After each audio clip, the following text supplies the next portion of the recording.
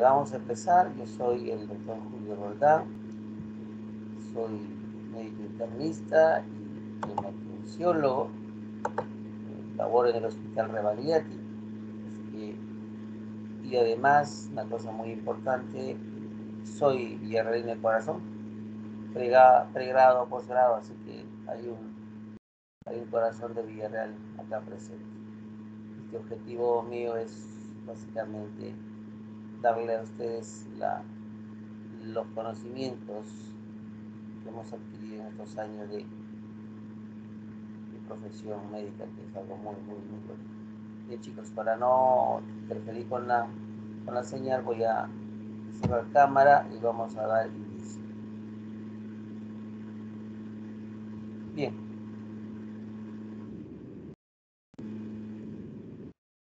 Los objetivos de, nuestra clase está centrándose básicamente en lo que es que ustedes adquieran la destreza de la evaluación endoscópica neurológica, muy importante.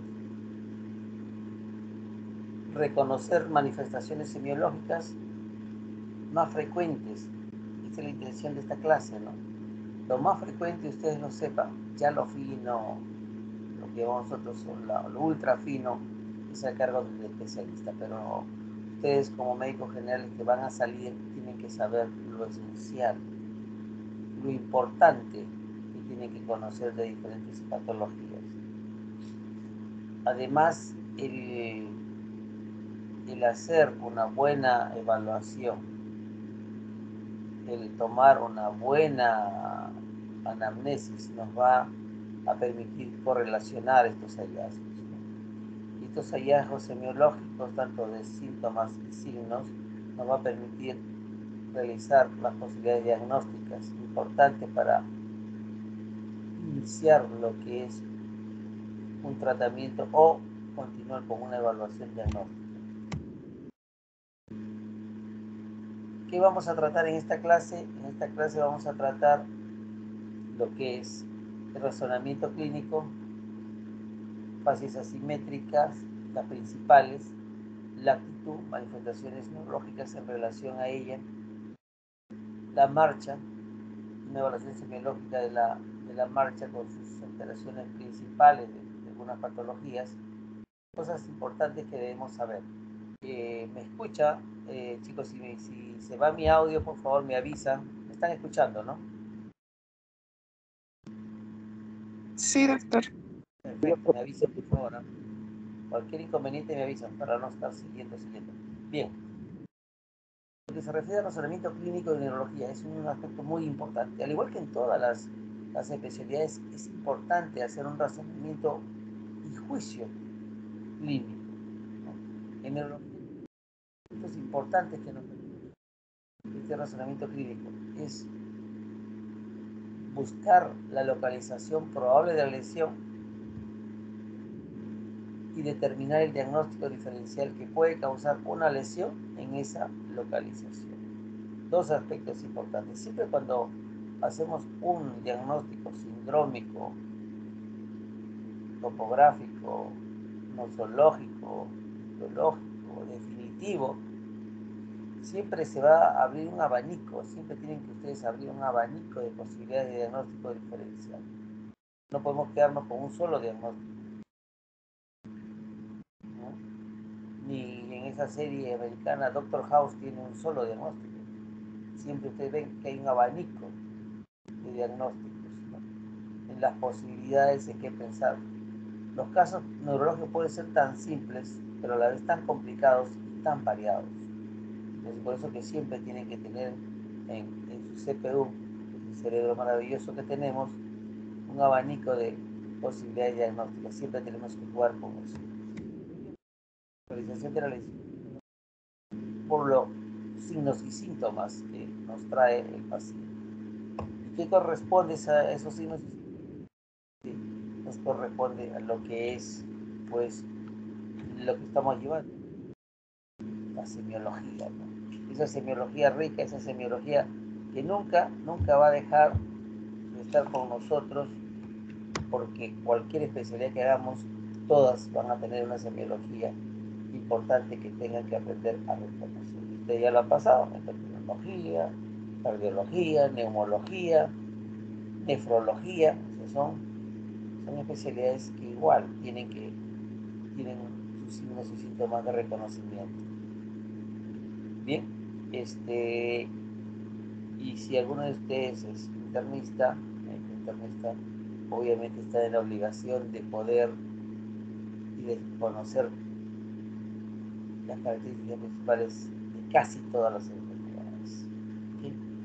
Entonces, esta semiología permitir a raíz de esta imagen que vemos acá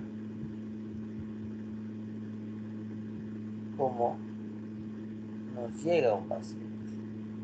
La ectoscopía es importante porque tenemos que aprender desde que llega, desde que ingresa ese paciente hacia nosotros, tenemos que ver aspectos importantes. Es la, la expresión que trae ese paciente. Es una expresión de dolor, es una expresión con algún cambio asimétrico que nos va orientando desde que ya lo vemos, está viene el paciente caminando en bipedestación, viene en bipedestación erguido, está encorvado, está lateralizado, o sea, la actitud que trae, está en silla, en camilla, cómo nada importante, cómo entra el paciente. Es una marcha sincrónica, una marcha manteniendo los caracteres del apoyo y despegue de los pies. Los pies simétricamente avanzan, uno arrastra más que el otro. Todas esas características nos las da la endoscopía. Y con eso muchas veces podemos iniciar una presunción, una presunción diagnóstica, una presunción. No diagnósticos, una presunción. Entonces, importante que veamos al paciente médico tiene que ver al paciente. ¿Qué es lo que notamos? Le digo la experiencia actual. Muchas veces ya el médico no ve al paciente. Entonces está con, llama al señor Julio Roldán y está con la historia ya preparado, mirando, o está en la, en la máquina, o está ya preparando para hacer el manuscrito de la historia anual, ¿no? Muchas veces muchas veces no vemos al paciente cómo ingresa. A veces ingresa en silla de ruedas y no vemos cómo está y qué actitud está en esa silla de ruedas. Está lateralizado, está la cabeza baja, está el miembro caído. No sabemos, no hemos visto lo que. Es importante eso. Siempre al paciente le gusta que le miren, que lo miren. El mirar simplemente va a decir si el doctor me está mirando, me está observando va a tener confianza con ustedes. Pero aquel que ni mira al paciente, tenga la seguridad que en un momento de la evaluación decir, doctor, ¿me puede usted mirar? Y eso es lo que hay que hacer. El sistema informatizado de la historia clínica muchas veces, muchas veces, cae en el, en el, riesgo de no mirar porque se centra en la pantalla, escribe, escribe, escribe, no lo mira al paciente. Tenemos que aprender a mirar al paciente. Entonces, en la primera parte de fase vamos a, explorar eh, algunas asimetrías para poder hacer que ustedes tengan ese concepto que ya me imagino lo deben tener muchos y hemos vivido a, este tiempo de, ingresar a clínicas a hacer semiología. Muchas veces ya hemos tenido conocidos, familiares o amigos, familiares o vecinos que han podido tener algún tipo de asimetría facial. Entonces, en lo que se refiere a fases, y viene a corresponder nuestra expresión facial, esto obviamente en las enfermedades neurológicas nos van a mostrar cambios bien característicos, y muchas veces con ellos podemos hacer el diagnóstico inicial del paciente. Entonces, estas fases se pueden modificar, y se pueden modificar y adoptan de forma espontánea eh, gestos, de acuerdo a estímulos externos e internos, cualquiera sea la índole. La fase traduce, ¿no? aprende a conocer a la persona mirándole la cara, ¿cierto? La parte médica nos traduce si hay problemas de salud, problemas psicoemocionales. Y esto de acá, pues, lo hacemos simplemente con esta arma que tenemos, ¿no? es la inspección. O sea, tenemos que ver, agudizar nuestra, nuestra mirada, nuestra observación hacia el paciente. Y esto nos va a permitir ver si hay una simetría facial, cómo está la expresión, una expresión tranquila, una expresión de dolor, una expresión pidiendo ayuda. Van a ver ustedes miles de expresiones durante su vida profesional. Vamos a hacer algunas asimetrías, unas fases asimétricas. La más conocida y la que queremos que no se pase es esto, la tosis palpebral. La tosis palpebral, como lo ven ustedes, una fase asimétrica, ven el ojo derecho del paciente, ven el ojo izquierdo, el párpado está caído, ¿no? En ambos hay igual. Entonces, ¿quién gobierna que el párpado esté en su lugar? El tercer nervio craneal. Importante, si tengo tosis palpebral, la, la posibilidad de lesión del tercer nervio craneal es evidente. Pero no digo yo solamente, ah, tengo, tiene tosis. No, tengo que ver cómo está el ojo. Si está muy cerrado, tengo que abrirlo. Levantar el párpado y ver si es que hay esa mirada convergente, un estrabismo convergente, o una exoforia o un estrabismo divergente.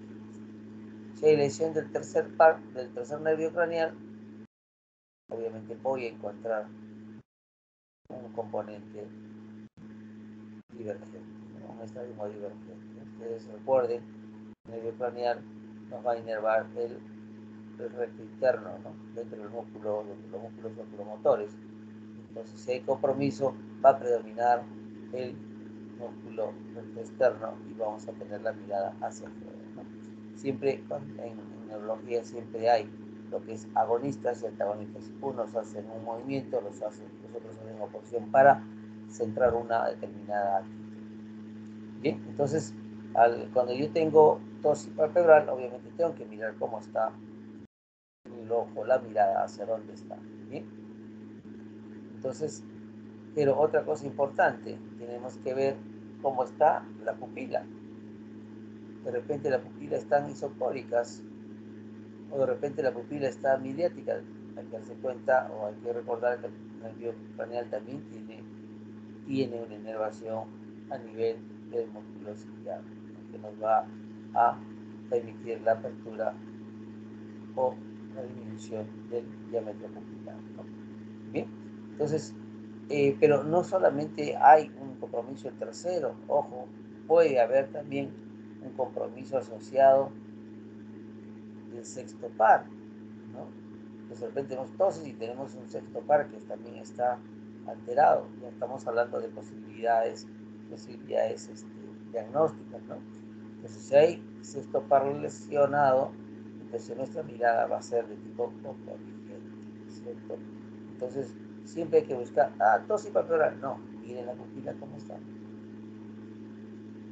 ¿Cómo está la mirada? ¿Está divergente o está convergente? Para ver si solo hay un nervio afectado o también hay otro nervio afectado, diferente. De repente esto corresponde a una patología no neurológica, pero vamos a ver más adelante. Bien, entonces esta es la primera asimetría facial que deben reconocer siempre. Ojo, no toda, toda caída de párpado es lesión de tercero. Vamos a ver una diapositiva posterior, como hay una enfermedad que tenemos que, un síndrome que tenemos que tener en cuenta. Y la otra que son manifestaciones propias, que no tienen ninguna digamos, traducción neurológica que corresponde a, un, a una debilidad de la, del músculo son reparables quirúrgicamente con, con pastillas. Continuando con fases asimétricas, hemos tenido la de nervio craneal, ahora tenemos otra fase asimétrica. Si ustedes agudizan la mirada, ven que este lado derecho, la frente está sin arrugas frontales. Si ustedes agudizan, van a ver con unas rayitas mínimas, esas son las arrugas frontales. Miren cómo está la ceja en relación a esta izquierda la derecha en relación a la izquierda está un poco más caída. ¿Cómo está el, el ojo? Miren cómo está, hay una mayor apertura, hay una mayor apertura ocular. Miren cómo está el surco nasogeniano. está borrado, menos prominente que el lado izquierdo, como está la comisura labial derecha, miren, está caída en relación al lado izquierdo. Entonces, esto nos está indicando que hay un compromiso del nervio craneal séptimo. Pero no solamente queda en verlo, ahorita estamos viendo, lo tenemos que hacer algunas maniobras para poder precisar. ¿Qué más hay? ¿Qué más tengo en ese paciente? Como ustedes ven en la figura de abajo, que es una parálisis facial, ustedes van a encontrar que el paciente muchas veces le viene diciendo, doctor, se me está paralizando la cara y le señala el lado izquierdo, ojo, este lado lo siento que se me ha paralizado. Y eso es una percepción del paciente. ¿Por qué? Porque como el agonista está comprometido en su función, queda el otro bando muscular en plena actividad. No hay nadie que le haga oposición. Por eso que él siente como que hay una mayor presión acá en este lado sano, porque acá no está haciendo la oposición al movimiento del hemicardio izquierdo. Entonces, siempre hay que ver eso en el paciente. Los signos que pueden aparecer en la parálisis facial tenemos que tener en cuenta. Lo que ustedes ven acá es el famoso signo de vela. Hay dos signos, el signo de negro y el signo de vela. El signo de negro significa que yo le digo al paciente que mire hacia arriba y el globo ocular del lado comprometido, del lado de la alteración del séptimo nervio facial, va a ascender más que el sano. Y al ascender más nos deja justamente ver esta parte de la esclerótica, la parte blanca. Ese es el signo de ver. Tenemos características entonces principales en la lesión del séptimo nervio craneal cuando produce alteración en la fase. todo lo que hemos hablado, el motor de la hemicara correspondiente, borramiento del circo nasogeniano, de las arrugas frontales, eh, la apertura del globo ocular o la oftalmos, la oftalmos según la literatura, la desviación de la, la comisura hacia el lado sano, caída de la comisura al lado comprometido, lo que hemos hablado del, signo de negro y del signo de Una cosa importante es que el paciente muchas veces puede debutar incluso con epífora constante, lacrimeo constante. Pero en, en, esta lesión del nervio craneal es importante determinar, ¿esto realmente es un compromiso motor periférico o central? O sea, una aparición facial periférica o, o, central. Si es periférica no tengo ningún problema.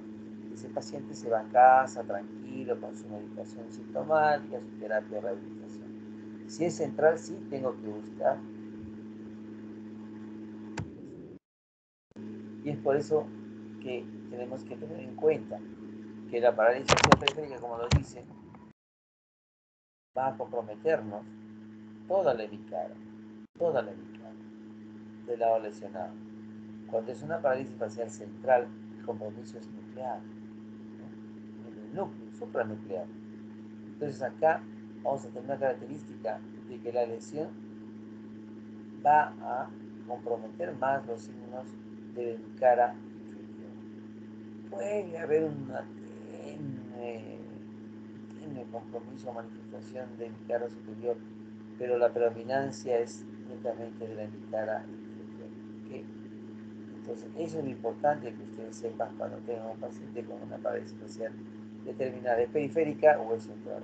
Si es esto, obviamente hay que descartar si hay fenómeno procesos tumorales, si hay procesos de infarto cerebral, descartar a qué se debe, cuál es la causa central de esa parálisis facial. Signos que vamos a aumentar a, los que ya hemos conocido de parálisis facial es que al paciente obviamente tenemos que pedirle que haga el gesto de silbar o que silbe.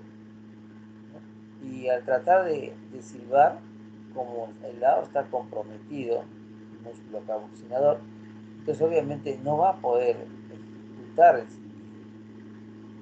Dos, el auricular de los labios de este lado también está comprometido, entonces no va a poder sellar esto para el y va a escapar el aire por aquí.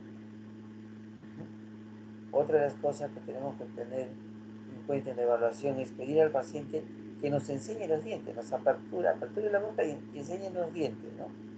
Los labios no van a poder tener movimiento conjugado y obviamente más vamos a ver los dientes del lado sanos que del lado enfermo, porque acá está la musculatura debilitada, caída. Entonces, aparecen estos nuevos signos que, podemos buscar en el paciente para confirmar. A veces hay parálisis facial muy sutiles. ¿ah? Ustedes conversan con el paciente y no lo notan hasta que empiezan a, hacerle la, evaluación. ¿no? Frunce el ceño para ver si, si es que las, las arrugas parecen normales, simétricas, hay que decirle al paciente que frunce el ceño, levante la ceja para determinar el movimiento, ¿no? ver cómo está la comisura, ver si puede silbar, ver si puede enseñarnos los dientes para poder identificar la parálisis facial en el paciente. Dentro de otras asimetrías faciales tenemos la lesión extrapiramidal. La fase parkinsoniana es una fase bien característica, inexpresiva, ¿no? con una mímica muy, pero muy, muy disminuida y muchas veces con un escaso parpadeo y con una mirada, eh, digamos, fija. ¿no? Cuando el Parkinson avanza, ya empieza el fenómeno de lo que es la, la fase con la boca entreabierta y como un babeo, un saliveo constante. Entonces, y es una fase lustrosa, seborreica, ¿no? es la característica de los pacientes parkinsonianos. Entonces, siempre es conocer esta fase, sobre todo en personas, a veces ahora ya no están, digamos, tan frecuentes, ¿no? sino ya no es porque está ni, digamos, de la, adulto mayor el Parkinson, ¿no? hay personas jóvenes que, de edad media que están teniendo esta enfermedad diferentes motivos conllevan a ello. ¿no? siempre es bueno eh, mirar bien la cara del paciente. La otra es la, la, lesión ya a nivel de neurotransmisores, la miastenia gravis, una de las enfermedades importantes y degenerativas de, la parte neurológica. Acá, por ejemplo, en la, en la fase miasténica existe tosis, sí, existe tosis, pero existe una tosis bilateral, ¿no? Y muchas veces asimétrica, no son simétricas los dos, es asimétrico, uno más que el otro. Y eso cómo se da cuenta el paciente, porque llega a la consulta y le dice, doctor, para ver las cosas, tengo que echar hacia atrás la, la cabeza para ver, como que dice, por esta hendidura veo. Muchas veces así. No se da cuenta el paciente, va bajando, va bajando. Y hasta que llega un punto en que tiene que tirar la cabeza hacia atrás para poder ver. Obviamente conforme la miastenia avanza, los movimientos oculares se ponen lentos, agotables, e incluso muchas veces por el compromiso severo se quedan fijos,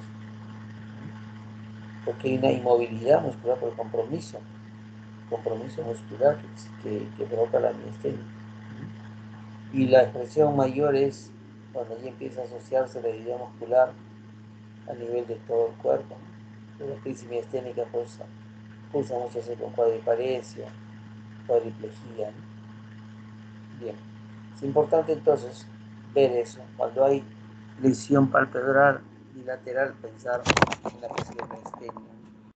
Es uno de los elementos. Incluso cuando es unilateral se piensa, porque puede ser el debut, pero tiene otros síntomas asociados que se tiene que tomar en cuenta. Esto es lo que le decía yo dentro del diagnóstico diferencial de tos y palpebral. Ustedes ven en la, en la imagen superior, ven acá, este párpado está adecuado, pero acá, ojo, está más descendido.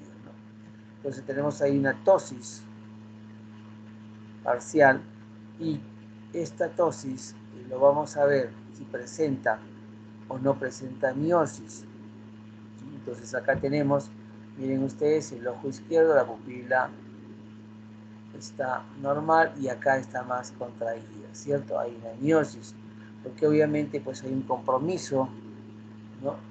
Eh, del nervio simpático, de la cadena simpática cervical, hay una parálisis de esa cadena simpática, entonces va a predominar el, el, ¿cómo se llama?, la actividad parasimpática del tercero y produce lo que es la miosis. Otra característica más es esta disminución de la hendidura que se llama enoftalmos. ¿no? Una característica es que hay anhidrosis frontal, ¿no? o sea, hay una, una, una, piel que no suda en ese lado. ¿no? Y eso es bien característico porque ustedes cuando tengan tosis tienen que preguntar si hay, está, hay sudoración en ambas hemicaras igual. Y muchas veces el diagnóstico se da por eso, tiene tosis, la pupila puede estar en miosis como podemos encontrar todavía con menor compromiso, pero la característica es de que hay una anhidrosis frontal y muchas veces de la hemicara correspondiente. ¿no? Y uh, puede cruzar con, con dolorabilidad. ¿no? Entonces el famoso síndrome de Klaus Bernard Horner. Esto muchas veces es para neoplásico. Se presenta en procesos que de neoformación a nivel de cúpula pleural o cúpula pulmonar. ¿no? Es increíble la variedad que puede, que puede haber en, digamos, de, de que pueden dar eh, como presentaciones del síndrome de Klaus Bernard Horner. ¿no? Entonces, pues yo decía, no toda caída es lesión del tercero. Siempre hay que pensar en patologías no neurológicas que producen esta manifestación. ¿okay? Bien, la fase pseudobulbar, la fase pseudobulbar eh, corresponde a lo que es el compromiso de motoneurona central, pero bilateral, ¿no?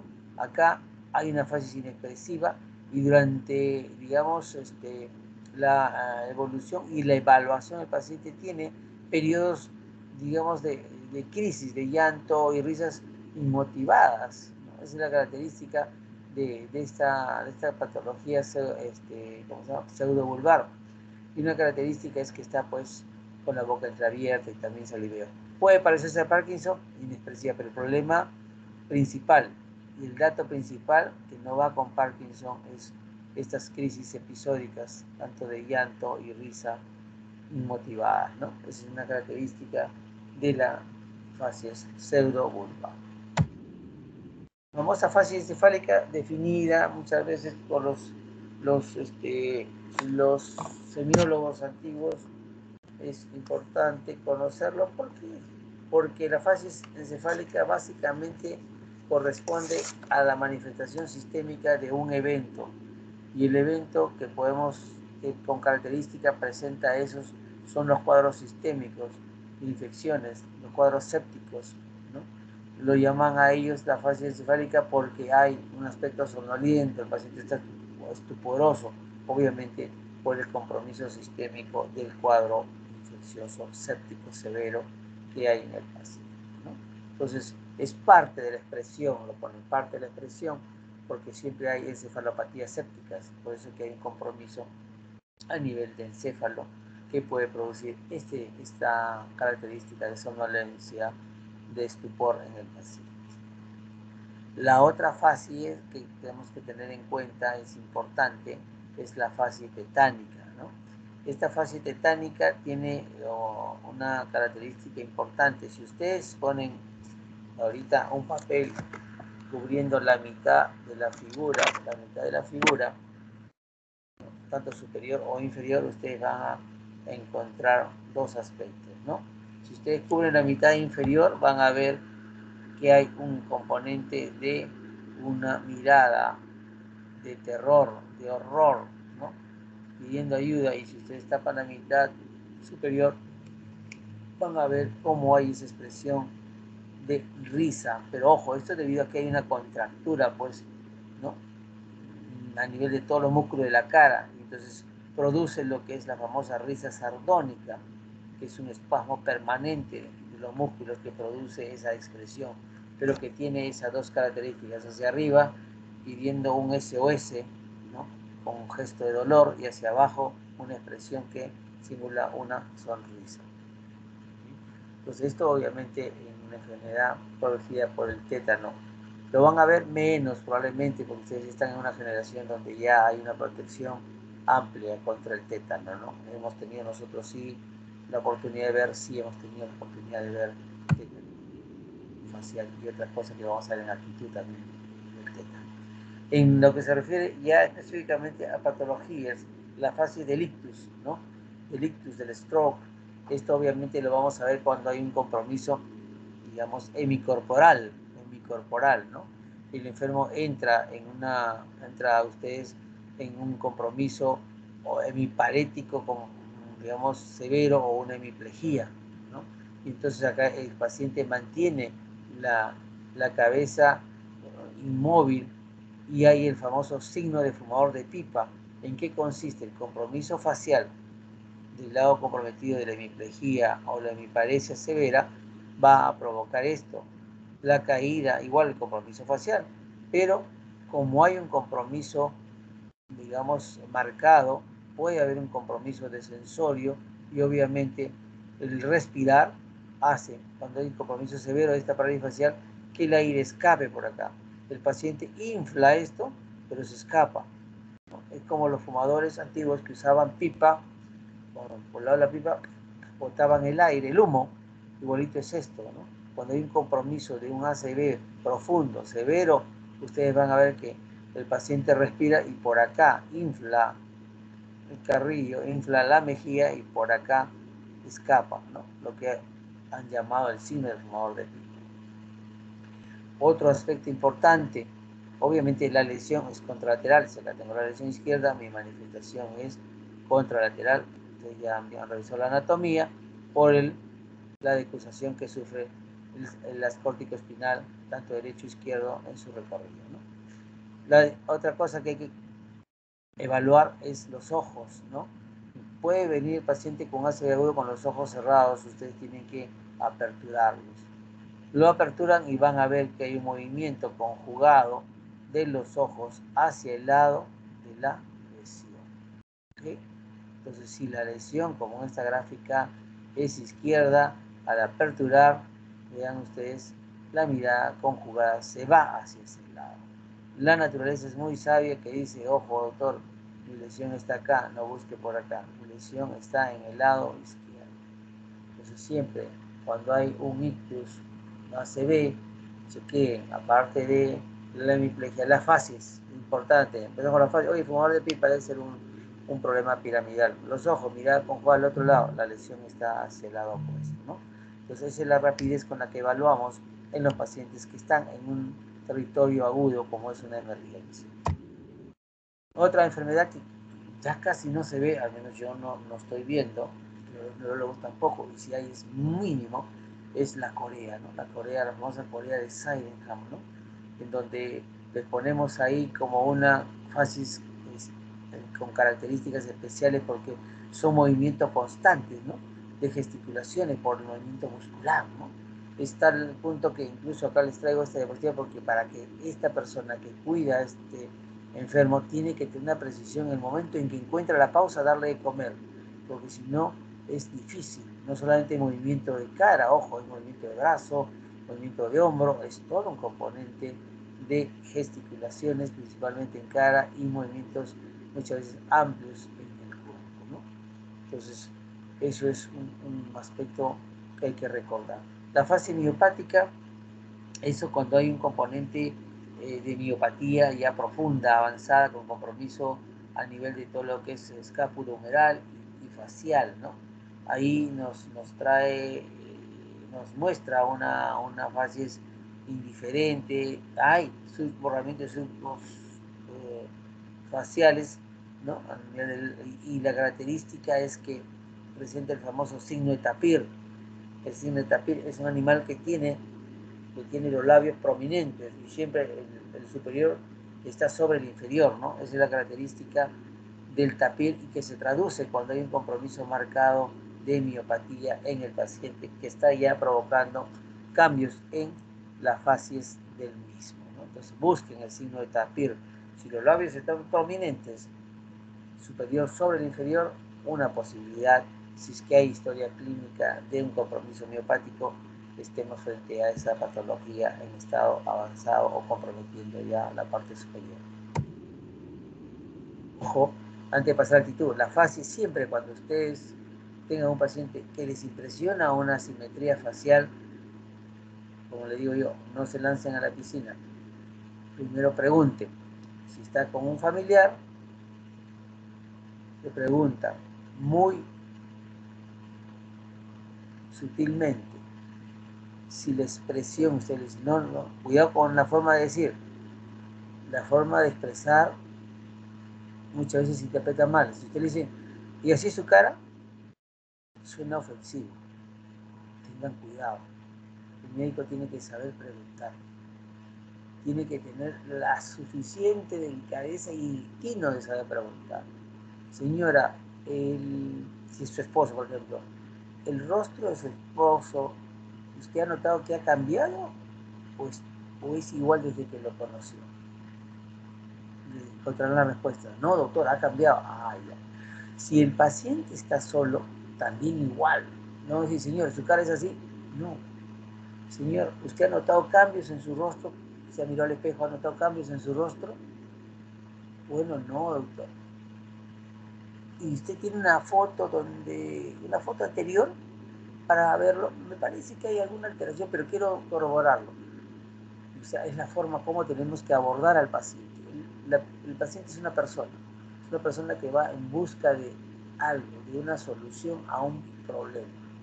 Pueden tener pacientes, discúlpenme la expresión, con componente psiquiátrico, pero igual hay que tratarlo. No pacientes, discúlpenme la expresión, a veces lo, lo dicen, es una loca. No, demostremos que es una persona que tiene un trastorno psicoemotivo. De repente no loca, sino histérica, histriónica, depresiva, X cosas. Pero tenemos que primero tratar a la persona como tal, condición importante en la medicina. La persona merece el respeto, así como ustedes también merecen respeto, tanto que el que evalúa, el que está siendo evaluado. ¿okay? Bien, entonces siempre hay que ver y precisar si ese rostro es cambio reciente o no. De repente, muchas veces nacen algunos no simétricos, uno con asimetría, uno no, la, cara más pronunciada que la otra, y eso ya nos tranquiliza si, es igual desde joven o desde antes. Bien, vamos a la actitud. La actitud es el segundo componente que vamos a evaluar, la actitud, que es la postura espontánea que nuestro cuerpo adopta, ¿no? Puede modificarse mediante la función neurológica, sí. Vamos a ver al paciente en dos posiciones, en la posición acostado, que puede estar en el cúbito dorsal, en decúbito ventral, o sea, en supino o en prono, en decúbito lateral, cada uno va a tener una, una, digamos, una causa por qué está en esa posición, en esa postura. O tenemos que evaluar al paciente en, posición erguida, de pie, para ver cómo está, si es que está normal su, su base de sustentación, si hay un movimiento lateral, no hay lateral, todo eso lo vamos a tener que determinar. Algunas actitudes que es importante conocer la famosa actitud en gatillo de fusil, que es característica cuando hay una infección del sistema nervioso, ¿no? O más que todo con compromiso meningio. Vamos a encontrar a una persona, y ahora lo vemos más en, los niños, pero ahora con menor tendencia, porque, bueno, no todos, pero ya a nivel nacional está dentro, del esquema ya, este, ¿cómo se llama? La vacuna contra el meningococo, o sea, se está tratando de reducir la presentación de enfermedades para evitar las secuelas, ¿no? porque muchas veces estas infecciones que se dan en, personas de condición humilde no son detectadas a tiempo, uno porque, bueno, pues no tienen la, suficiente, digamos, eh, preocupación de que está mal, está mal, o, no hay medios a veces para llevar al médico, y simplemente recurren a la farmacia y hijo tiene fiebre, está, ah, debe esto, debe aquello. A veces le dan equivocadamente una terapia antibiótica que todavía no, no amerita y a veces eso puede alterar los, exámenes para llegar a un diagnóstico, ¿no? Entonces, y, y las secuelas son terribles, ¿no? Una la secuela que se veía antes terrible, ahora es mucho menos, mucho menos. Bien, entonces, el gatillo fusil es el, la persona o el paciente que está en decúbito lateral, con cuello extendido, la flexión de los muslos sobre la pelvis, de las piernas sobre los muslos, ¿no? Ese era en un, en un fusil antiguo, pues, tenía, tenía esa, esa forma, por eso fue denominada así en gatillo de fusil. La otra actitud importante cuando tenemos una enfermedad infecciosa como el tétanos, los opistótonos, ojo, los opistótonos, esta figura que ustedes ven acá, aparatosa. Lo hemos visto y ustedes de repente lo van a ver. Porque los opistótonos se pueden producir con, esta, con este proceso infeccioso, pero también en algunas, algunas otras patologías. Pero vamos a nombrarlos acá como una manifestación de un proceso sistémico infeccioso en la cual pues, se caracteriza porque hay una hiperextensión de la cabeza, la extensión del tronco, ¿no? Y tal es la contractura que forma una concavidad, una concavidad, ¿no? Los músculos extensores están, digamos así, en toda su máxima expresión. Produce por eso esa concavidad que se denomina opistótonos, ¿no? A diferencia de pleurostótonos, los pleurostótonos es cuando una, una mitad, un hemicuerpo domina sobre la otra, ¿no? Y produce esta intubación pareciendo como una escoliosis severa, pero es por el efecto contractural que tiene. ¿no? Y los emprostótonos, que ya es lo contrario, es una flexión intensa, ¿no? cabeza sobre pecho, miembros en contacto con el tronco, casi como una posición fetal. ¿no? Estos son los emprostótonos. ¿Qué es lo que hemos visto? Personalmente, opistótonos. Y esos opistótonos, tú tienes al paciente en decúbito dorsal, basta que haya un ruido o un toque sobre el área donde está la camilla o la cama para que ejecute este, esta, actitud. Es tal el estado de, contracción que tiene y la sensibilidad tan alta. Por eso que antiguamente a los tétanos los ponían en un cuarto sin ruido, sin ruido, incluso con una luz tenue, porque cualquier estímulo podría activar la contracción de los músculos extensores y provocar esto que obviamente pues es doloroso. El, compromiso sensorio a veces el paciente no lo siente, pero se traduce a veces esta contracción de estos extensores tan intensos que puede causar elementos de mielisis o rabdomielisis. Entonces, por eso que a veces en estos pacientes es necesario hacer incluso sedación muy suave, ¿no?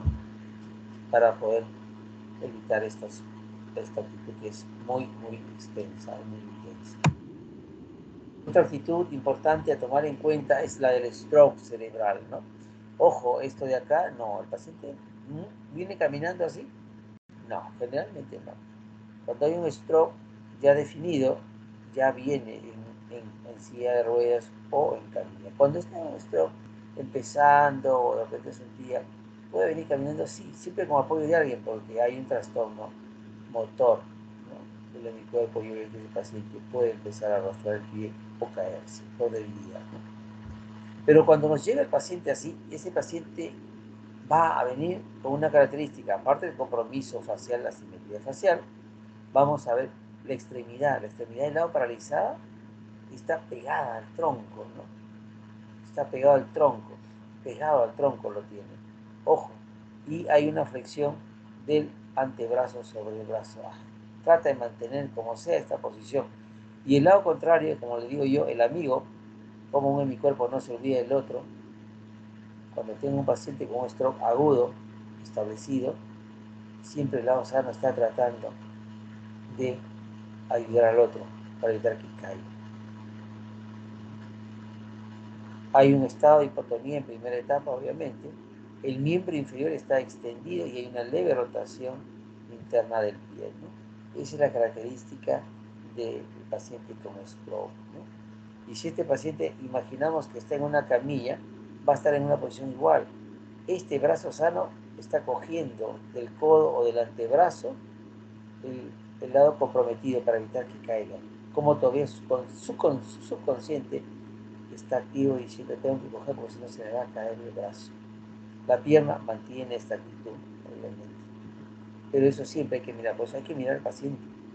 En silla hay que ver cómo viene, viene en esta posición, de repente viene bien sentado y el problema es netamente inferior, o de repente viene eh, bien este, con compromisos a veces no hay camillas en los hospitales y el paciente que ingresa respirando mal, sentado, porque lo bajaron del taxi y lo ingresaron rápidamente a, la unidad donde están ustedes. ¿Okay? Las paraplegias, las paraplegias o paraplegias, que es el compromiso de ambos miembros inferiores. Paraplegia, compromiso de ambos miembros inferiores. Puede ser una paraplegia flácida donde las masas musculares no tienen actividad, está como dice ahí, aplastada sobre el lecho, sobre la camilla, ¿no? La punta de los del pie está caída porque no hay acción muscular, ¿no? Ahora, esa es la flácida. La espástica, obviamente, en contractura de extremidades, tanto en extensión o en flexión, ¿no? Hay una enfermedad, por que es la paraparesia espástica, ¿no? Es una enfermedad que, puede producir esta característica de, tener contractura de extremidades. Muchas veces está asociada a una infección por el HTLV1, virus. Y la otra, el otro ejemplo la de paraparesia espástica, paraplegia espástica, son las enfermedades pues, de parálisis cerebral. Ustedes ven a la, persona con parálisis cerebral que siempre está en un estado de extensión o flexión, ¿no? flexión a nivel de cadera, flexión de pie, sobre las piernas. Entonces ustedes lo ven, ya sea sentado o en esta posición, siempre va a estar en esa actitud de contractura, ¿no? tanto de extensión o, o flexión, y teniendo compromiso a nivel de miembros inferiores y cuando hay compromiso de las cuatro extremidades estamos hablando de cuadriplegia o tetraplegia como lo llamábamos. La cuadriplegia es la denominación que debemos tener en cuenta. Otra actitud importante a conocer y aprender a reconocer es la enfermedad de Parkinson. El paciente con Parkinson o lesión extrapiramidal es un paciente que está en una actitud de, de, de flexión, ¿no? La cabeza está hacia adelante, el tronco también, los antebrazos están en una, una flexión, una semiflexión, a veces no es flexión completa, pero sí hay una pronación de la mano, ¿no? con una flexión o una semiflexión de las rodillas. Entonces es un paciente que está casi en semiflexión total, ¿no? Flexión de tronco y cabeza, semiflexión de rodillas, un poquito flexionados los antebrazos, pronación de la mano y con un temblor constante. ¿no? Esa es la característica de actitud. Cuando tenemos a un paciente con Parkinson y lo hacemos poner de pie, tenemos que ver cómo adopta esa actitud que vamos hablando. Ya tenemos la fase, ya tenemos la actitud. En un rato vamos a ver la marcha del parkinsonismo, ¿no? Bien. Otra actitud que hay que tomar en cuenta es la taxia, ¿no? La taxia nos va a revelar el paciente, lo ponemos de, pasamos de la posición de pie, de, de sentado de pie, y vamos a ver que ese paciente va a tener una inestabilidad corporal, va a haber anteropulsión, retropulsión, lateropulsión, cualquiera de las pulsiones o todas a la vez, ¿no? Y una característica importante es que va a ampliar la base de sustentación. Las piernas las separa para tratar de equilibrar ese, esa inestabilidad que está teniendo el paciente. Entonces estamos en una actitud alta. La actitud miopática es la famosa postura de tenor, es la lordosis marcada en el paciente, ¿no? Con una, una base de sustentación ampliada, ¿no? Entonces nos crea esta imagen de un abdomen prominente, básicamente por esta lordosis severa que, o marcada que tiene el paciente.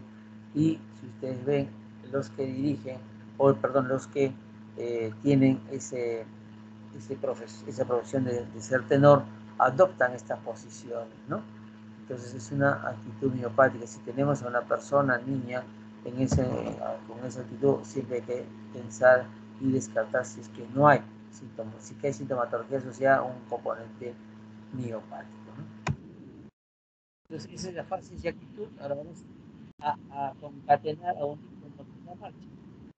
La marcha es un elemento importante para, para nosotros. Tenemos que cuenta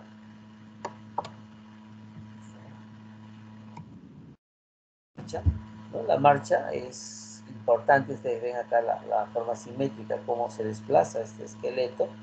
Y obviamente la marcha está pues gobernada por, por sistemas específicos. Tenemos el sistema nervioso central, el sistema nervioso periférico, el componente músculo esquelético, papel importante, estructuras óseas, articulaciones y sistema pues que puede gobernar lo que es el equilibrio, que es la la parte de la Cuando evaluamos la marcha tenemos que evaluar tanto con los ojos abiertos como con los ojos cerrados.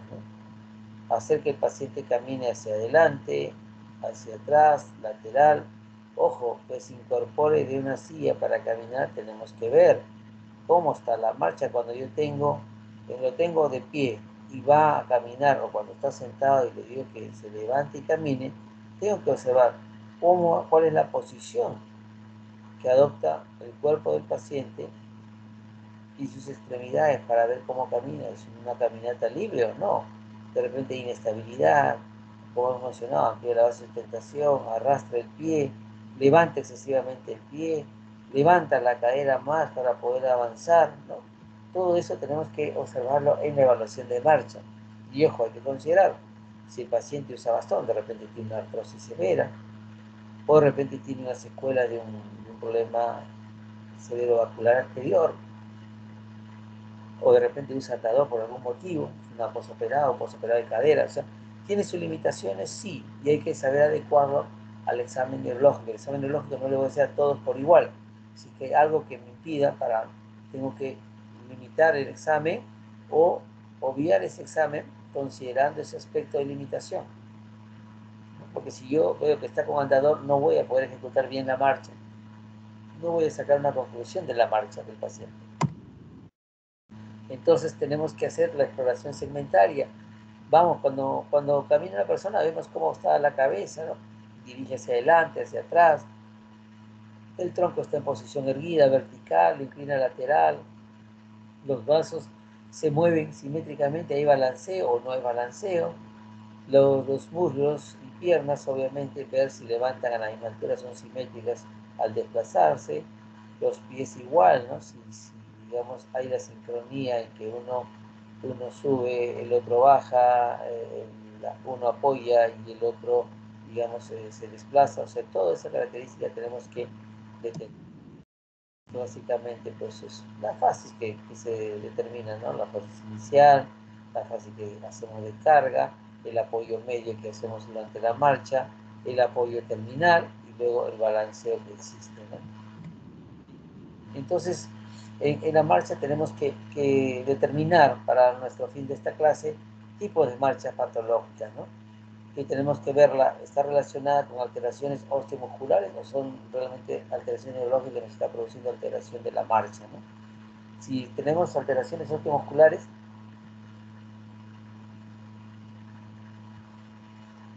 tenemos que considerar un aspecto importante, la fuerza muscular del paciente. De repente hay un componente ya secular, una, parálisis, como antiguamente había la polio, ¿no? Entonces deja su secuela y obviamente ahí no podemos definir una marcha patológica porque es una marcha secuela por un, una secuela por una disfunción de fuerza muscular de esta índole o de otra índole, de repente algún componente de trauma que provocó alguna lesión y ya está manifestando pues una parálisis de un lado, pero secundaria al trauma. Bien, o porque hay fenómeno de acortamiento del miembro, a veces algunos nacen con un miembro más, eh, más pequeño que el otro, y eso también nos va a producir una alteración de la marcha. Cuando hay fenómeno de, deformidad o limitación al movimiento, sea por una artrosis que puede severa, que puede provocar una anquilosis, ¿no? Eh, todo eso se tiene que evaluar. Y ver si ese paciente está con dolor muy intenso, la característica más importante, la las lumbociáticas, que es muy intenso el dolor, a venir una, en una posición antálgica, ¿no? Va a estar con lateralizado hacia un lado, un caminar lento, no quiere levantar las piernas por el dolor que puede presentar, ¿no? Entonces arrastra. Entonces no es que haya ningún problema de stroke ni limitación, simplemente es una manifestación, digamos, antálgica, una postura antálgica del paciente. Bien, entonces vamos a ver la, parte de las alteraciones neurológicas. Tenemos la famosa marcha apráxica, ¿no? En donde se pierde la habilidad de usar los miembros inferiores, ¿no? Tiene dificultad para iniciar la marcha, incluso el cuerpo, el tronco lo pone hacia adelante y, los, los, las piernas están pegadas al piso, ¿no? Imantadas, por eso había una, denominación antigua de una apraxia magnética, se quedaba pegada los, pies al piso y el, tronco trataba de avanzar, ¿no? Y obviamente le es difícil, es difícil hacer giros porque puede caerse. ¿Ok? Bien, y cuando logra avanzar, iniciar la marcha, son pasos muy cortos e inestables. La otra marcha, la otra marcha no es tan específico, pero que la conocen, la famosa astasia vacia. Esta es una característica que, que presenta una dificultad para mantenerse de pie y caminar. O sea, se para el paciente y no puede, se cae, se cae, no se sostiene, se va. Pero cuando está en posición de reposo, tiene movilidad adecuada, constante, no hay pérdida de fuerza muscular, o sea, está normal,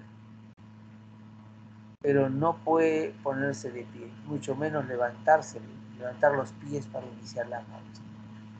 Entonces es la famosa estasia base, muchas veces relacionada a, cuadros de origen este, mental, ¿no? Pero había que demostrar siempre que no haya otra organicidad. Entonces es una característica paciente que mueve, tiene fuerza muscular adecuada, ejecuta movimientos en cama y los paramos y no pueden sostenerse, es la denominada astasia base y hay que descartar organicidad en ese tipo de pacientes. Ejemplo, la marcha práctica cuando hay una lesión frontal, ¿no? la lesión frontal eh, paracentral es la que provoca esta alteración. Ustedes saben que, que el lóbulo frontal es el lo que nos gobierna en nuestra actitud, en nuestra forma de proceder. Muchos pacientes con compromiso tumoral frontal han, han pasado por psiquiatras ¿no? y, y, después se diagnóstico. Y dentro de las marchas espásticas, es, importante ver bastante, eh, la hemiparesia espástica, ¿no? con la famosa marcha del segador, que es la lesión de las córtico espinal, ¿no? Aquí vemos esa característica de que el miembro superior está pegado al cuerpo y en flexión, el miembro inferior rígido y en extensión, arrastra miembros inferiores al caminar, los dedos están contracturados, no solamente el pie, sino también de la mano, levanta la cadera para elevar el pie, hace un movimiento en semicírculo, como la hoz del segador, ¿no? Antiguamente hacían este, cuando podaban el césped usaban la hoz y la hoz hace un movimiento circular y por ser de esa forma la hoz, ese movimiento de pie, de pie al caminar, con levantar la cadera, lo hace que se tipifique como la marcha del segador, ¿no? O sea, de aquella persona que podaba el césped, que sesgaba, ¿no? El césped. Entonces, este es un aspecto. Esto lo vamos a ver en un stroke, pero no en el stroke agudo, ojo, el stroke agudo hay una hemiplegia. Si lo paran para ver si camina, se cae, ¿no? Entonces estamos hablando en el periodo espástico ya del stroke, en donde permite que la persona camine. Vamos a ver si tengo otra imagen. Sí. Miren, observen bien esta imagen, chicos. Este es ya un paciente con una hemiparesia espástica, cierto. Ya en, fase ya de, recuperación de ese stroke agudo. Miren, esta es la característica de la marcha del sedador. Miren, levanta la cadera. ¿ah? Miren cómo hace el pie el semicírculo que forma acá, el semicírculo acá, él ya está en rehabilitación, ojo. Miren cómo está los dedos de la mano contracturada, cómo está el miembro superior pegado al tronco y en semiflexión el antebrazo, ¿no? Mire, levanta cadera, es un pie rígido, Miren cómo hace esto. Esto que está mejor, cuando está en fase eh, de rehabilitación aguda, esta, esta pierna hace el giro, así, hace el giro para poder, este, digamos, desplazarse, ¿no? Y se desplaza con ayuda, dense cuenta, miren, el bastón. Sin eso, obviamente, se cae este paciente, tiene que estar con apoyo. ¿eh? La hoz más marcada es cuando estamos en inicio de rehabilitación y esto va a girar, va a hacer ese giro, ¿no? Entonces es importante esta marcha de ese Es lo que van a ver eh, cuando vean entrar a 100 paciente, la posibilidad, no la posibilidad, que ha tenido un evento un, un, ACV, obviamente, con esa secuela que ha quedado. La siguiente es la marcha espástica también, pero la paraparesia espástica, ¿no? Esto cuando existe una lesión de las córtico espinal bilateral o cuando hay una disfunción del médula espinal. La característica es que presenta rigidez en miembros inferiores, por eso se llama paraparesia espástica. Los músculos, miren, están en aducción, las rodillas hasta pueden entrecruzarse, los pies están en rotación medial, o sea, mirando así. Hay pasos lentos, ¿no? Y la famosa, cuando, cuando se desplaza, la famosa marcha en tijera, ¿no? Que es típico de la paraparesia espástica, con, que significa que hay una lesión córtica espinal bilateral o una disfunción a nivel de lo que es médula espinal, ¿no? Es la famosa marcha espástica o marcha en tijera. Otra marcha, la marcha de equina, la marcha de estepas, que es cuando hay compromiso de miembros inferiores. Eh, a nivel de ciático, popliteo externo o a nivel de vértebras lumbares. Entonces nos va a producir que hay una parálisis de los extensores del pie y, y los peroneos. Entonces el pie está caído, levanta por flexión exagerada tanto la cadera y rodilla y el pie cae y golpea, ¿no? Golpea los dedos con un sonido bien característico. El pie roza el piso, no se puede parar sobre talones. Si usted dice, póngase, párese en talones, se cae este paciente. No lo puede hacer. Entonces, este, y es la característica de la, vean ustedes cómo marcha el caballo, ¿no? El caballo es así, levanta el pie, la patita, y deja caer el pie. Por eso que hace ese golpe, ¿no? Ese golpe de la marcha del caballito, ¿no? Entonces, miren el video de un, caballo, andar del caballo comparen, vean el video de, de, la, de esta patología, hay videos colgados, y van a ver lo civil que es esta característica en el paciente. La, la, el complemento de, la, de, lo que hemos visto, fase del Parkinson, actitud del Parkinson, la marcha del Parkinson ahora, ¿no? Obviamente la marcha parkinsoniana se caracteriza por esto, ¿no? Son pasos cortos, son pasos cortos que realiza el, el, el paciente con, con, esta enfermedad. Va a arrastrar los, los, los, pies y la postura que está, como hemos dicho, en flexión. Cuando nosotros le decimos que camine, a veces eh, que camine y hacemos un poquito de caminar y ellos tienen un movimiento de caminar hacia adelante que es de propulsión y cuando le decimos más rápido empieza a hacer festones, a festiñar el, el caminar en ellos. ¿Le es difícil iniciar la marcha? Claro, es difícil porque es un, un, organismo, un cuerpo rígido, ¿no? Y la característica cuando decimos que hay que evaluar marcha es que no tiene balanceo de brazos al caminar. Normalmente nosotros balanceamos como una parte del equilibrio de nuestro cuerpo en la marcha. En los pacientes con Parkinson no, hay una ausencia o es bien, bien disminuido el balanceo de, de los miembros superiores de los brazos al caminar. La marcha táxica, ya hemos visto cómo es la actitud atáxica. La marcha táxica obviamente pues es característico, ¿no? Eh, ya sabemos que la actitud está como este, esta imagen con la amplia base de sustentación, ¿no? Eh, y obviamente aquí hay un fenómeno en la cual tenemos una lesión, la lesión del cordón posterior de la médula espinal, que nos va a dar la sensibilidad propioceptiva. Acuérdense que el cordón posterior están los haces de Golgi-Bulldage que llevan la información para, digamos, la respuesta central, ¿no? Entonces tenemos que hay una alteración de la posición. El paciente mira al piso, ojo, y a, y a sus pies. ¿Por qué? Porque obviamente tiene una, una, una, sensibilidad disminuida. Por eso que quiere saber si está pisando bien o no.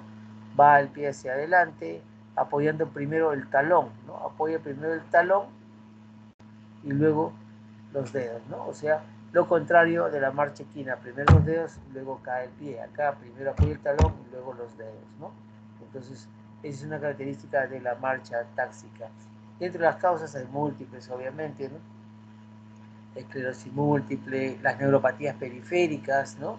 Enfermedades metabólicas que pueden dar este tipo de manifestación, ¿no? Por eso la evaluación de una ataxia siempre tiene que ser minuciosa para poder determinar la etiología de la misma. Los trastornos cerebelosos característica cuando hay una lesión de este, eh, de este nivel, cerebelo y sus este, conexiones aferentes diferentes, va a ver que tenemos una ataxia tanto con ojos abiertos como con ojos cerrados. Hay inestabilidad y la famosa marcha en tandem, la marcha del ebrio, ¿no? Se va de un lado a otro lado, es como el borrachito, de la comparación, nunca se cae, ¿no? Se va así, pero zigzagueando y no se, y no se cae, ¿no? Salvo que encuentre un stop ahí y produzca esa caída, ¿no? Entonces, no hay una, no sigue, si usted le dicen, siga imaginariamente una línea recta, no lo va a seguir, se va a ir derecha, se va a ir izquierda, ¿no?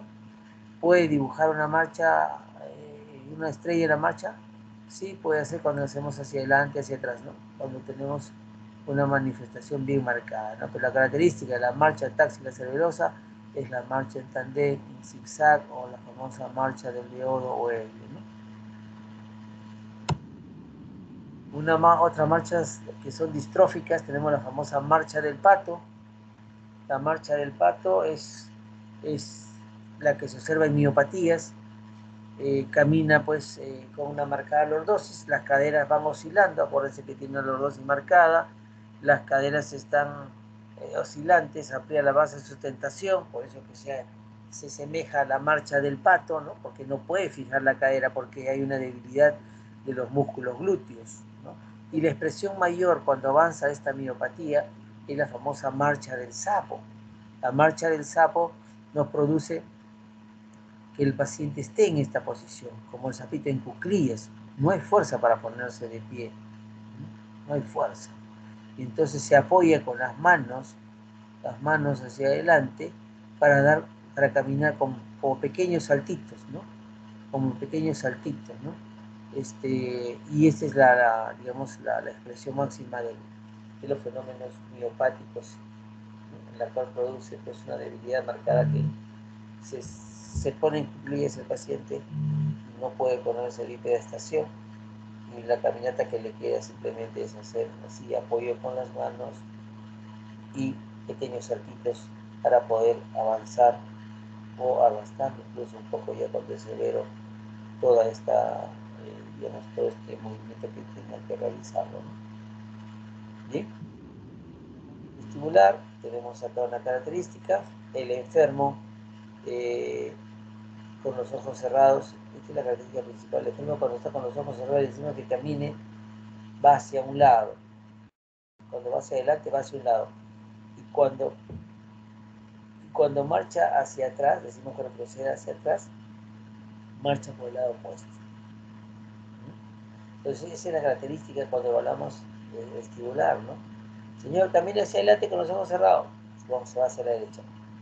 Bien, ahora con los ojos, mantenga los ojos cerrados y hacia atrás se va hacia la izquierda.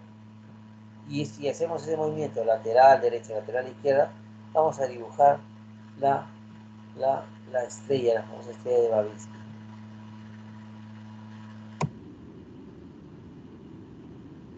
que hemos querido mostrarle son las principales, las más características, las que queremos que, siempre tengan en cuenta para poder evaluar. Hemos tratado de abarcar las, digamos, las lesiones principales que nos dan estas características. Obviamente hay muchas enfermedades que pueden dar algún tipo de variante de características en la cual pues la digamos simplemente hay que conocer la manifestación y este y correlacionarlo con lo que el paciente lo que el paciente trae a la consulta. Entonces, como conclusión, el examen clínico semiológico, como les repito siempre, debe ser ordenado y debe corroborar lo que en síntomas nos trae el paciente. Una evaluación bien minuciosa, dirigida, va a darnos un diagnóstico adecuado. Y un examen semiológico nos, nos va a permitir eso. Porque hay que tener en cuenta que si yo tengo un diagnóstico precoz, voy a dar un tratamiento también adecuado y precoz, si así lo amerita. Entonces, y esto es mucho más evidente e importante en patologías como las enfermedades cerebrovasculares, los traumatismos, tengo que detectar sinología epidural o subdural. El epidural tiene que ser una cirugía inmediata, el subdural le permite un tiempito. Me permite ver la sintomatología del examen, de repente hay una hipertensión endocraniana. Detecto los síntomas, evalúo y confirmo planteo hipertensión endocraniana, tengo que saber qué, cosa es, dónde está y si requiere o no una cirugía inmediata. O sea, toda esta, esta, esta signología y sintomatología nos va a permitir eso, dar el tratamiento adecuado inmediato al paciente. Muy bien, creo que esta es la, lámina. Chicos, aquí nos quedamos, 7 y 20. Sin querer, estos temas duran un poquito más, no se puede hacer una hora. Una hora es correr con, con el tema y, lo importante es que ustedes tengan conocimiento del tema. Esta es la primera clase conmigo, son tres clases que tenemos conmigo en un seminario. Bien, si es que hay alguna pregunta, chicos, por favor.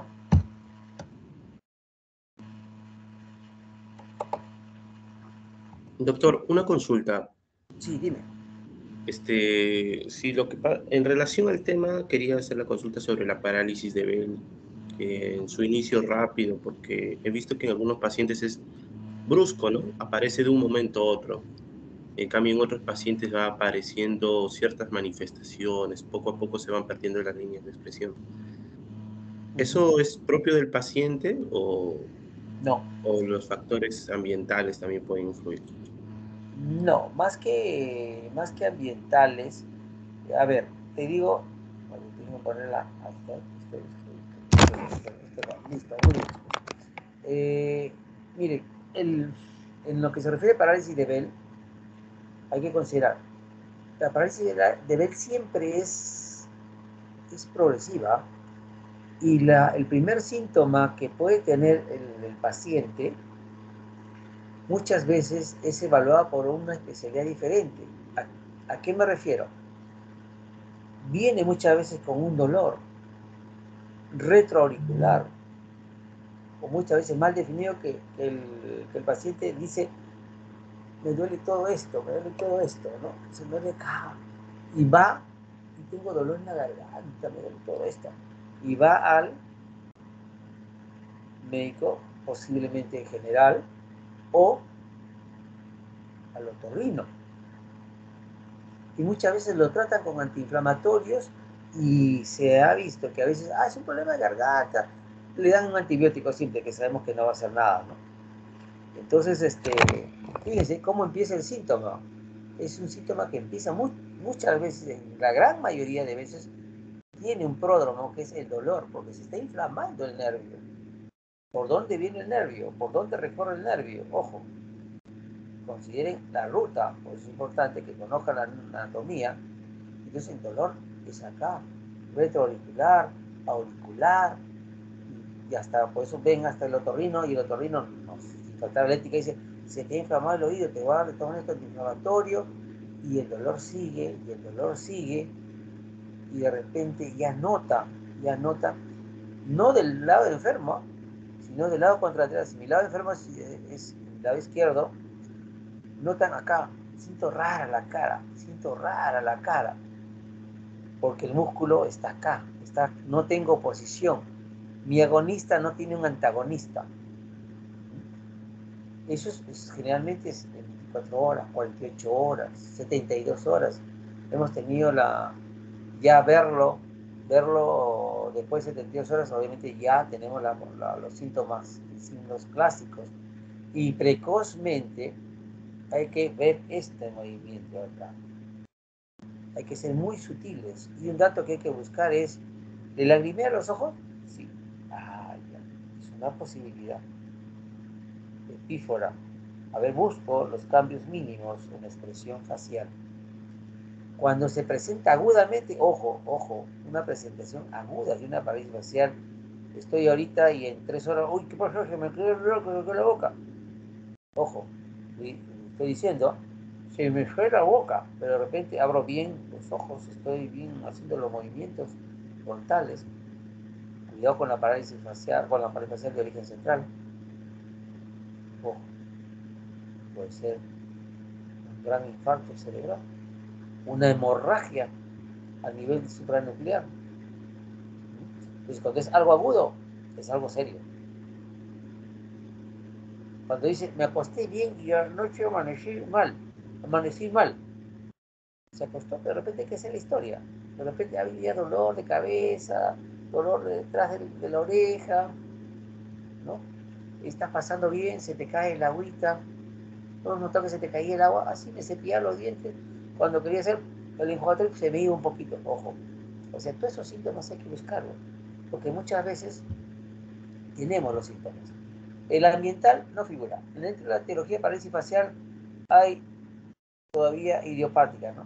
Unos dicen que es de tipo viral, por eso es que, que antes se daba el, corticoide, ¿no? El corticoide se, se prescribía al paciente, se prescribía al paciente para disminuir el proceso inflamatorio, pero desde que se planteó la posibilidad viral, no hay forma de demostrarlo, se restringe y solamente se da terapia, muchas veces prefieren dar antiviral, ¿no? De ellos el, la ciclovir y la terapia física precoz para poder recuperar digamos, la actividad muscular de la cara comprometida. Es muchas veces ambiental, el famoso ad frigori, ¿no? Eh, como se tienen algunos ese concepto, cuando estás en la ama de casa, están planchando, las personas que se dedican a la casa están planchando, están con el cuerpo caliente, no abras la refrigeradora porque te pueden, miren, dos conceptos, se te va a torcer la cara, o dos, o te va a dar una neumonía. Entonces, ¿son, son mitos o son realidades? Son mitos. ¿Por qué? Tú abres con, la par, con, con, con, el frío. ¿Existe antibiótico? Existe, pero hay una condición previa que puede, puede, digamos, predisponer. Pero no es que siempre la exposición brusca de calor a frío te vaya a dar. Puede, puede, pero no es, digamos, una, una etiología certera, precisa que es la causa. Y siempre cuando tienes una parálisis facial y después de un tiempo debutan con parálisis facial del otro lado, ojo, hay que ver, hay que ver si no hay alguna patología metabólica que está provocando. Dentro de ellos, la más frecuente, la diabetes mellitus. Entonces, siempre hay que considerar todos estos aspectos siempre buscar, ¿es agudo por esto o es progresivo que no, no se ha dado cuenta de los, de los síntomas que está presentando? Muy bien, chicos, ¿alguna otra pregunta más?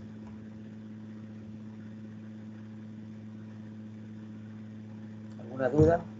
Esta es la etapa de la duda. Como le digo a mi grupo, esta es la etapa de equivocarse. Para eso estamos, para corregir sus equívocos todos tenemos que aprender así.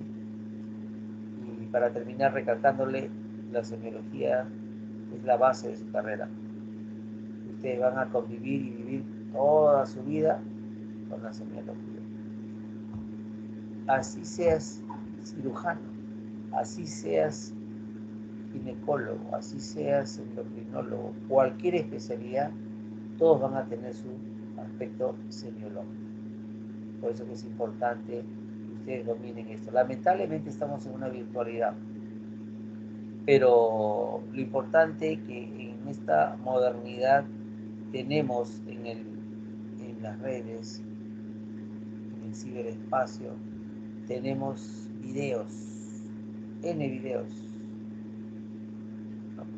Busquen los videos de exploración neurológica, vean ahí los 10 pasos de exploración neurológica y la exploración neurológica va a ser diferente del paciente que lo tengo en un estado agudo al paciente que lo tengo estable. La historia clínica neurológica es completa en el paciente estable. De la fase aguda pasó al estable, es una historia completa. La aguda, como le decía a mi grupo, tengo que ver el síntoma que me trae, que me trae el síntoma, que este síntoma que está trayendo agudamente puede provocar daño en el paciente. Ese tengo que hacer un examen neurológico rápido, pero no significa que no lo haga completo, sino de acuerdo al síntoma que trae, yo me enfoco direcciono mi examen neurológico para corroborar lo que me dice o lo que tiene. Por eso que es importante, chicos, que ustedes sean metodológicos en su exploración neurológica y paciente es individualizado. No todo lo que se está escrito se tiene que realizar en el paciente. Hay algunas variantes que ustedes lo van a ir tomando de poco en poco, como es eso de la evaluación de marcha. Aquel que esté inestable, no lo voy a hacer marchar, definitivamente no. Tengo que primero evaluar cómo está su actitud, su postura, para ver si puede o no puede evaluarse la marcha. Muy bien, chicos, creo que no hay más preguntas. Ya nos estamos viendo en la, en la segunda clase. Ya coordino con el, el legado de ustedes para hacer la clase correspondiente. Bien, ¿no hay ninguna pregunta? ¿Todo Doctor, claro? Doctor, sí. disculpe, ¿podríamos hacer la clase de repente el sábado? Como le dije, estamos un poco cortos de tiempo. Y de repente el sábado a partir de las 7 de la noche. ¿Sería factible para su tiempo? Este déjame corroborar, déjame ver la actividad de sábado en la noche. No es fiebre de sábado por la noche. Vamos a dejar mi actividad. Si es que es, sí, yo te contesto en el transcurso de la tarde de hoy. Eh, si no, yo soy medio. Los he levantado temprano, chicos. Primero, porque obviamente mi labor empieza a las 8 y no para hasta las 5. ¿no? 5 o 6. Por eso que gano tiempo con ustedes en la mañana. Y el médico tiene que acostumbrarse a levantar temprano. Médico que es dormilón, no es médico. Porque en la guardia vas a estar despierto si no está despierto, te despierta. O sea que tenemos que em, empezar a estar en training, ¿no? Como decía a mi grupo, vamos a ganarle al gallo. Vamos a despertarnos antes que el gallo cante. Aunque ahora ya no hay gallos en, la, en la ciudad, ¿no? Pero era, el, digamos, lo, lo, que se decía cuando queríamos levantarnos temprano. Bien, vamos a ver si, si puedo a las 7 lo, lo hacemos. No sé si mañana ustedes... No, sí, podría ser a las 7. Yo te confirmo, Rey para hacer la segunda clase. Gracias, doctor. Listo, quedamos así, chicos. Entonces, sigan estudiando y vean videos, por favor, de neurología.